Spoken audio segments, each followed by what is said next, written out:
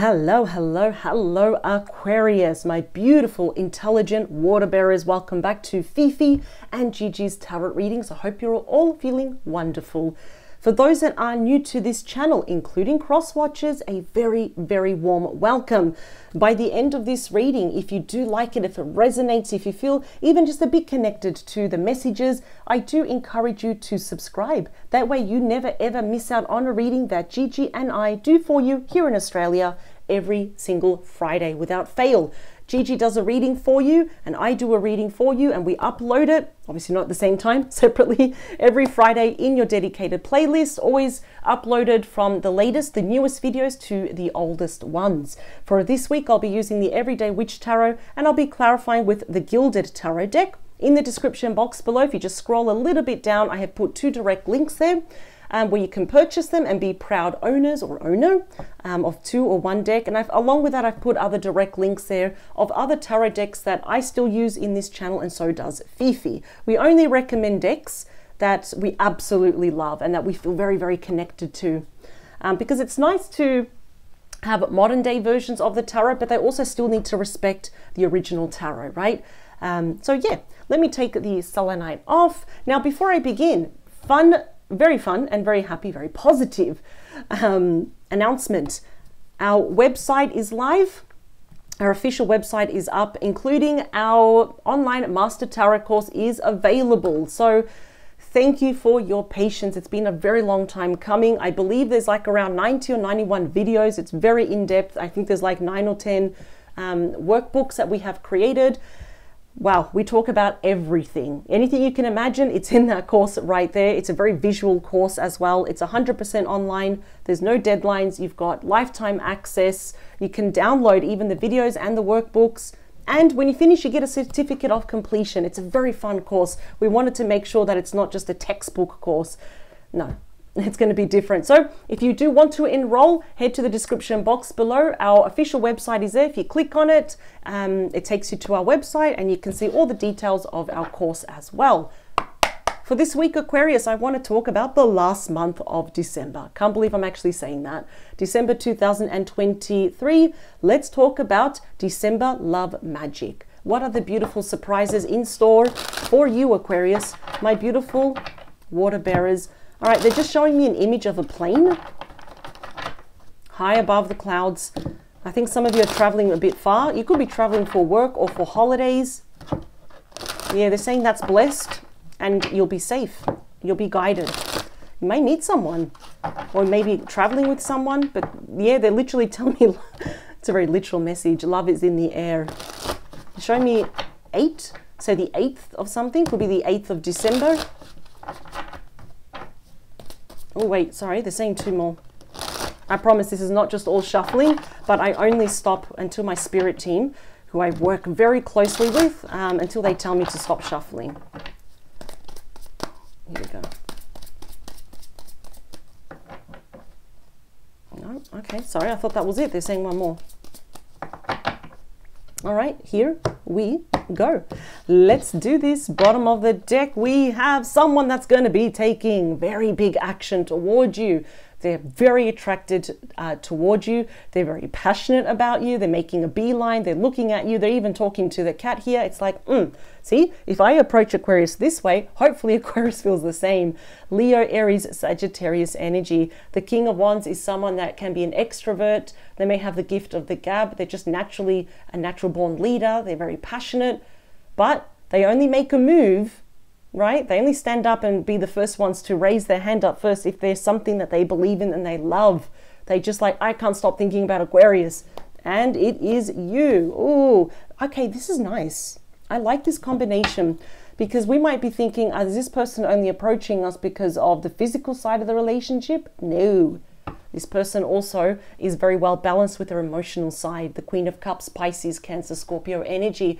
This person loves and they love hard. They are natural nurturer, very caring. They love hugs. You know, it's almost like this is like a salesperson, the gift of the gab. This is someone nurturing that's like a nurse, for example, or a caretaker, massage therapist. I'm not getting it's two different people. They're just showing me. And how do I know that? Well, it comes with experience and listening to my spirit team. That's the physical side and the emotional side. This person absolutely loves you, but they're holding back out of nervousness. Now we've got the mental side of them. Eight of Swords, Gemini energy. There's listening to their ego, that victim mentality mode. I'm not approaching Aquarius because they'll probably say no to me. So I think this person knows you. Absolutely. Because the plane can also indicate movement. There's change here. Perhaps that's what they want with you, but they're holding back. Oh, yeah, this person loves you. The Two of Cups, Cancer energy. Ooh, okay. I think they're worried here what you're going to say because that's you. That's Aquarius energy. Five of Swords. I think you know this person. I really think you do. I'm wondering if you had a falling out with this person. I'm hearing that it could have also been a friend or even a colleague that you know has romantic feelings towards you, or obviously this is just someone else. Mm, yeah, you're holding back. I feel like you're getting a bit defensive over this person, the Nine of Wands, Sagittarius energy. And there you are. I almost feel like, I don't know, there was a falling out, there was a disagreement, there was an argument. You're holding back. What happened? I feel like there was some rumors and there was gossip. There was something that was done behind your back. And you're like, yeah, no. Now they want to make things right. This person, oof, but they love you. What's going on?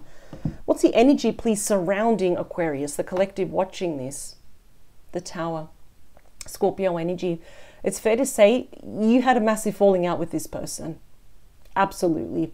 And it's a shame because I really feel that you're compatible. You really just get along with this person. Like you have your inside jokes. There's no awkward silence. They know what you're thinking. You know what they're thinking. But something happened here, Aquarius, and you probably had a sudden awareness, a sudden realization. And this was like just an unexpected, it came out of left field, a downfall. This, ooh, either I'm hearing either they did something and they completely ended it, or you found out something and you completely just ended it. Let's talk about you though. And what's coming in toward you, please, for December is the moon. Pisces, Cancer energy. Now is a time to use your intuition, though. There is more to this situation here. Yeah, believe it or not, I know there's actually more to this situation. And I think here what you just don't like that there was mysteries, there were secrets, probably even white lies. Maybe your person put you in a third party. This often does indicate a secret romance. They weren't being honest with you, and that leads to dangerous assumptions. But there is more to this situation. There is absolutely more. I do feel that you, yeah, I think some of you still have feelings for this person. Perhaps we're trying to suppress it. It's like, well, they did this to me. You know, if they asked, you know, do you care about this person? And you, of course, are saying, you know, I do, but I just, I, I can't go back to them. And that, that's absolutely fair enough, though. Um, let's talk about surprises, please. What's coming in in regards to this person? Four of Wands. Ooh, they're coming back home. They're coming closer to you.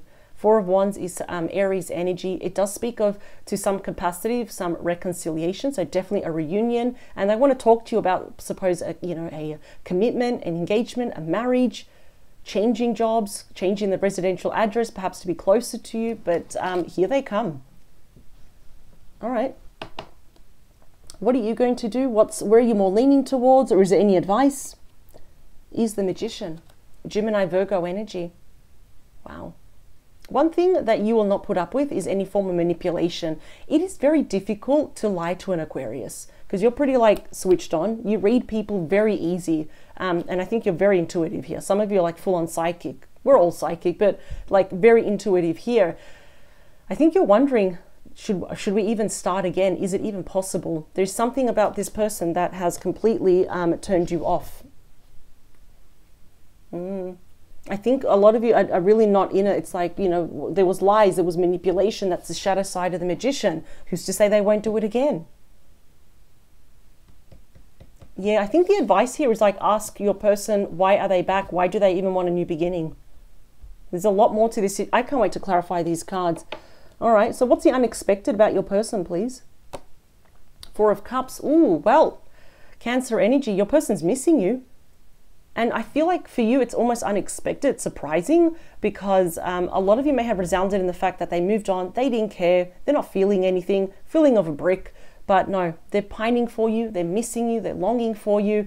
They're very melancholic here and they're trying to find a solution at the bottom of these cups, these chalices, but it's not there. Oof, okay. I think this is why they're prompted now to have this strategic plan to come back, to win you back. More, please. Coming full circle. Ooh, uh, okay. Five of Cups, Scorpio energy. Um, I don't know if you're in a position where you want to forgive this person. Look at that. This is when we're mourning and we're crying over the love lost, over the death of this relationship. Often, this card is linked when we're feeling very embarrassed, guilty, or ashamed. And I feel for you, it's like you're just feeling very bad that you gave this person a chance, that you believed in them, that you allowed yourself to be vulnerable. It's not your fault, though, Aquarius. It's, I'm telling you right now, it's not your fault. The Empress and the Emperor. Wow. They want to give birth to this, but I feel like some of you just want to walk away. You can't even look at this person. Split the deck. Page of Pentacles, Capricorn energy. I'm telling you, they, they want to see you face to face. They're probably even going to say to you, I learnt my lesson. But, mm, okay. This is a very basic blueprint. Um, I feel like this person really hurt you. But in doing that, they hurt themselves. I can see the surprise here that uh, absolutely they want to come back home to you. I'm actually hearing them saying it. Can I come back? And for you, I think it's almost like that seems very childish or very immature. It's probably a bit of a turn off. They're missing you. That's the unexpected. They may act. I feel like there is so much more to this situation, though.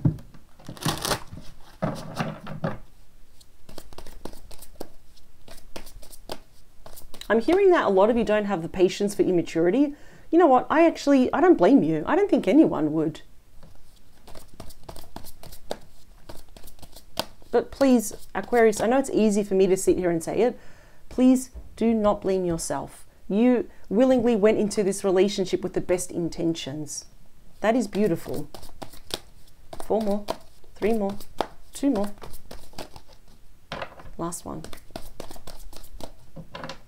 Here, we, oh, go, you stay there. Let's try and make this neat bottom of the deck. Ooh, my favorite night. Knight of Pentacles, Virgo, Taurus, Capricorn energy. Now, this is the slowest moving knight, but in saying that, why is this my favorite moving knight? So, the reason why your person wants to offer you something valuable, you know, something solid, that adds value to your life is that they've thought long and hard about this. There's nothing impulsive about your person. And yes, dare I say this, the Knight of Pentacles, you know, the energy with your person is that they're a lot more loyal, practical, grounded, a lot more mature, and they want to take it slow with you as well. Because I think they know that they're hanging by a thread. They're skating on very thin ice because, mm, because of what they did. You see, when I see fives, five of wands, Leo energy, five of pentacles, Taurus energy, for me, they are like little events or smaller versions. Sorry, that was very shiny of the tower. Where we, and here's another five, you know, it's like changes, challenges, transitions and also regret. I think your person probably they jumped ship, they may have abandoned you, and now suddenly it's like they send you a message with that page of wands, Aries energy, about the six of wands, Leo energy. Hey, I'm back. I'm back in town. Can we meet up? They've been planning this though. Three of wands, Aries energy. It may seem like an accident how they're suddenly back in your life. It's not an accident. They've really thought about this. I'm just what I, I'm really sorry is how they hurt you. I think that that's going to not going to be an easy feat to look at your person and not see what they did.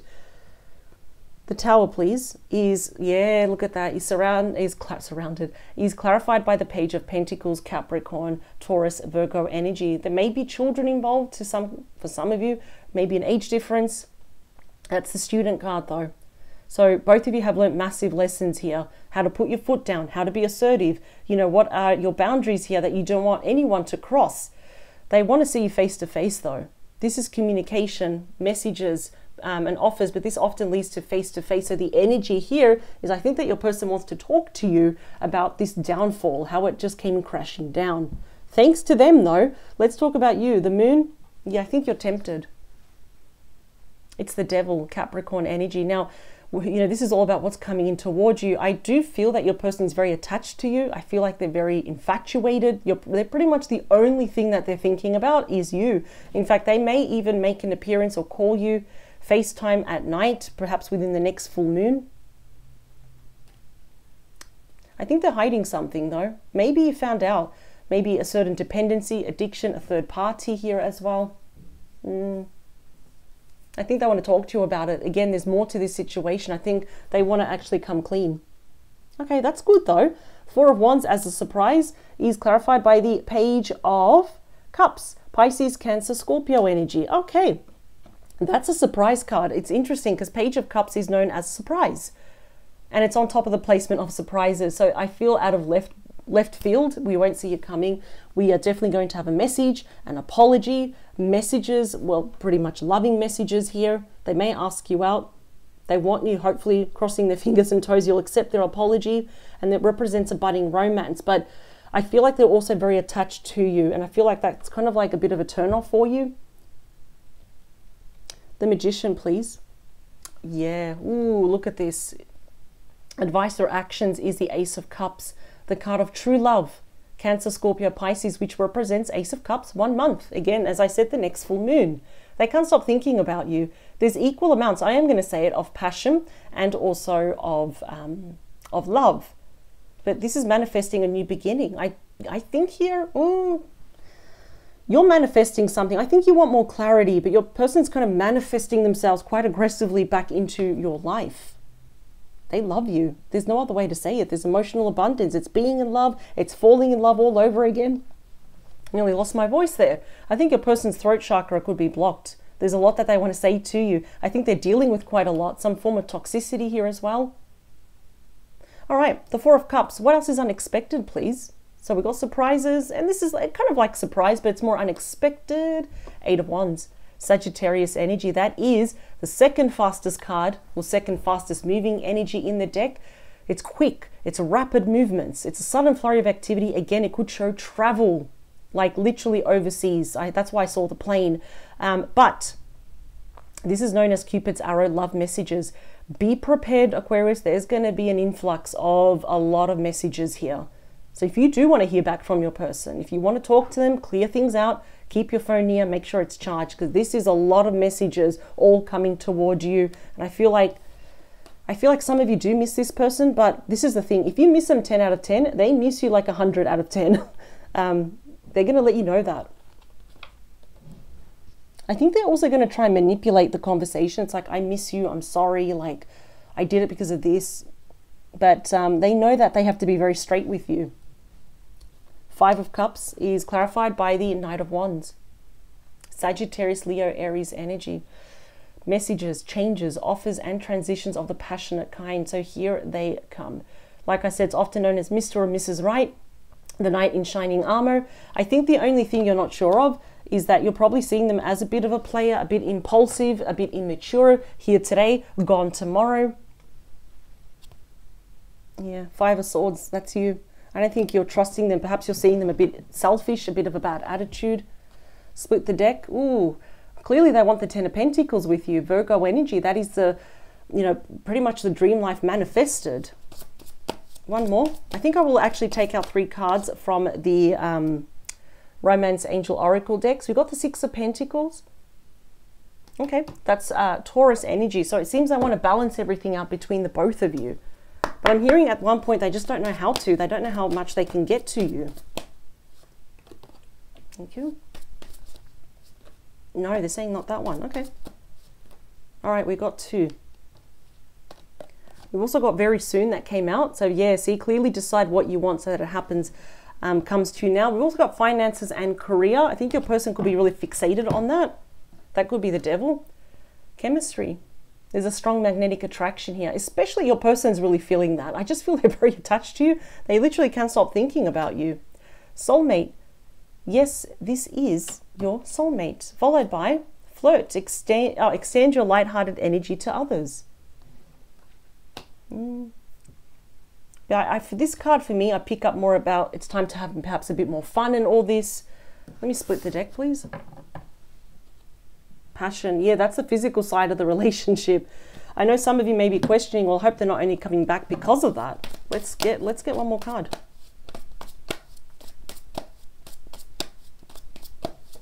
Thank you.